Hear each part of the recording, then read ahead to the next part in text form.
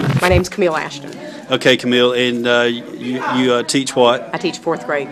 Okay, at what school? I teach at Brentwood Elementary Okay, in, in uh, Pensacola, Florida. in Pensacola, Florida. Escambia County School District. Okay, well, tell me uh, what your experience was today with Danny Brassell. It, it was a shot in the arm. I think it's what we really needed, and I think it was a nice reminder that we need to have fun with our kids.